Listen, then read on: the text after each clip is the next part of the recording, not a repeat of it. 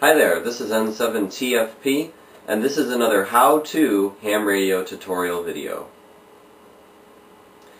This video will focus on the HF bands for new general and amateur extra operators. So if you've just gotten your general or your amateur extra license and are now uh, able to operate on the HF bands, first off, congratulations on passing your exam, and second, welcome aboard because there's a lot of exciting things happening on HF. Most of you probably know that HF is a lot different than VHF and UHF, like 2 meters and such. The first big difference about HF is that there aren't really very many repeaters.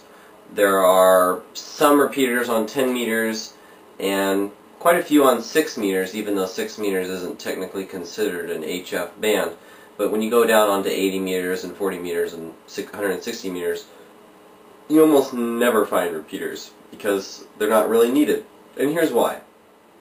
The biggest difference between VHF, UHF, and HF is line of sight communications. VHF and UHF, for the most part, rely on line of sight communications, except in some very unusual circumstances, and things like moon bounce, or satellite operations, or repeater operations, they all rely on line of sight communication to function between you and the station that you're talking to. HF is different. HF doesn't necessarily require line of sight because we can skip our signals off a layer of the uh, Earth's ionosphere and bounce them around the Earth to get to where we want to talk to. Now, bouncing these signals over the horizon is a little bit complicated, and just exactly how this works is beyond the scope of this video, but the ARRL has uh, lots of publications which go into more detail about uh, the science behind uh, the skip of radio waves in the ionosphere.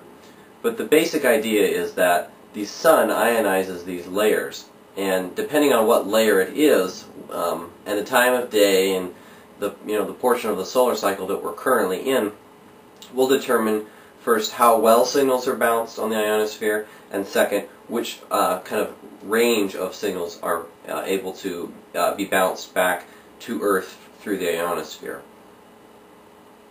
Now there are quite a few factors that we need to consider when determining how well or even if our signal will be able to be bounced off the ionosphere.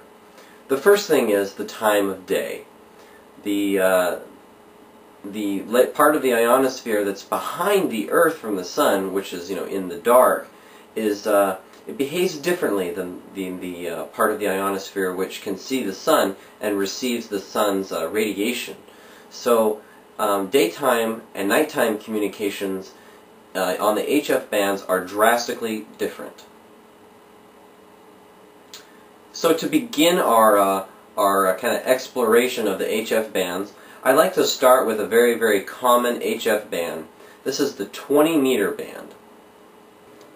So 14295, that's a frequency right in the middle of the 20 meter band. And a 20 meter band for general class operators uh, goes from 14.225 megahertz up to 14.35 megahertz. Now, if you're an amateur extra or an advanced class operator, these frequency ranges are a little bit different. So make sure you have a band plan handy so that you can figure out exactly what your legal limits are in terms of operating range. It's 1.30 in the afternoon here on a uh, cold December rainy day in the Pacific Northwest. But uh, conditions are relatively good. Uh, we have uh, a station here. Let's see where he is. It's about that. Uh, that's out there. And, you know, people, what, what you say is, is pretty much Mm, it's a little hard to copy him. I'm going to tune around a little bit in the uh, band here and see if we can find someone that's easier to pick out. Three bedroom home in um, San Diego, about one mile from the ocean, um, about one mile. Well, this station that we're listening to right here is down there, as you just heard, uh, in San Diego. The 20 meter band, primarily uh, used during the daytime and uh, and you're not going to have a whole lot of success during the nighttime when we're in the lull of the uh, solar cycle, which is uh, about an 11, 12 year kind of cycle. However, when the solar cycle, when we're up at the top and, and performance around the world is good, the 20 meter band can be open uh, through the nighttime.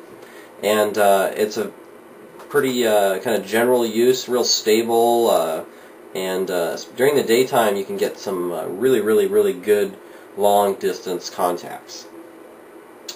Um, we're going to take a break now, and we're going to go look at the 80 meter band. Alright, well we're down here uh, on the 80 meter band, kind of more close to the low end of the amateur radio spectrum. The only band that goes below the 80 meter band in the United States is the 160 meter band, which is down around uh, 2 megahertz uh, in this range. And unfortunately, I can't really give you a very good demonstration of these bands at this time because it's about 1.45 in the afternoon. And uh, unfortunately, these bands just don't work at this location uh, during the daytime. now, there's a lot of science behind why that is and why we can't use these bands during the uh, during the daytime for long distance communications. But again, like I said, that's a little bit beyond the scope of this video since this is just a kind of brief introduction. Um, perhaps uh, you'll get the opportunity to get on the 80 meter band sometime uh, during the evening or early, early in the morning, but uh, most likely at night when performance is good. And uh, we'll try to do a video of uh, nighttime HF, HF operations in the near future. Um, but again, here we're on 80 meter band. Uh, the frequency for general class operators is 3.8 to 4 megahertz. Uh, again, that's just for voice operation. There's another band for digital and Morse code um, operations. But uh, we'll tune across real quick and just see if we hear anything. I doubt it, but never. Uh, it's always worth just trying because you never know what'll happen. That's the other thing is ham radio isn't entirely predictable. Let me switch uh, antennas.